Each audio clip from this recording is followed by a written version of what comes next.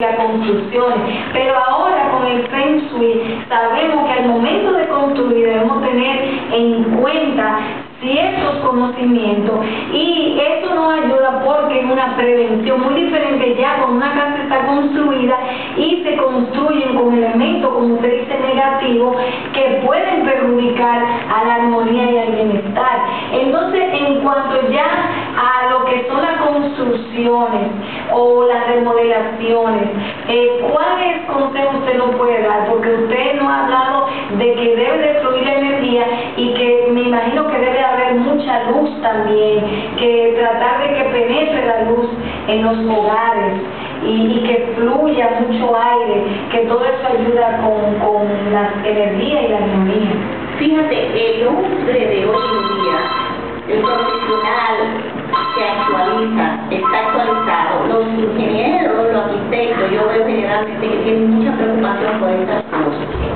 Este, este siglo XXI, en el que nosotros acabamos de entrar, vamos a decir así, eh, tiene las personas muy, muy pendientes de las cosas que pasan hoy en día. Uno se topa porque un ingeniero anda buscando por dónde circula el agua, si hay un agua debajo del terreno que va a construir. Es decir, toma muchos elementos en cuenta.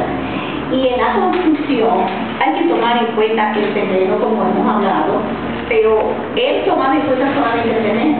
Sin embargo, el Sui se va a los propietarios anteriores y a los propietarios que van a lo que quiere se construya la casa, el historial de ellos, el gusto de ellos. Porque no se construye una casa sin que el propietario dé su, su, su respaldo ahora que se está haciendo. Pero ¿qué pasa?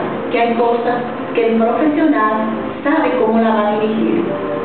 cuanto a las aguas, en cuanto a las luces, en cuanto a la ubicación de cada habitación es importante.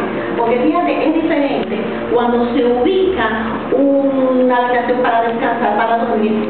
Lo importante es que esa habitación esté al fondo, donde no haya nada que perturbe el sueño y el descanso de la pareja.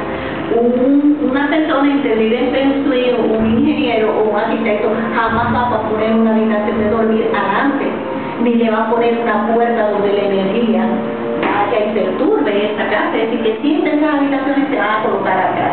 Se va a tener en cuenta dónde está la cocina, cómo es la puerta principal. Es decir, que todo se tiene con, se tiene con mucho cuidado. Hay un cuidado especial ahora mismo para que la felicidad y la prosperidad de quienes van a habitar la casa se tenga, se tome en cuenta. Él, va a ser una persona eh, cuidadosa o va a buscar la ayuda de, una, de un profesional que lo ayude en esta situación. Pero yo creo que hoy en día todos los profesionales se están preparando. Bueno, pues para terminar, para terminar con la entrevista tan interesante y como siempre, el tiempo apremia y nos quedamos con tantas eh, inquietudes.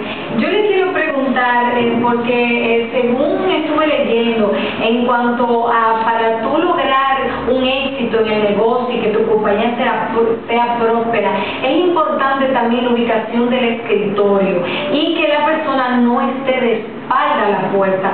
de una manera breve usted nos puede explicar ya en el ambiente laboral de que debe la organización, que no haya, según yo leí, muebles rotos y todo ese tipo de cosas,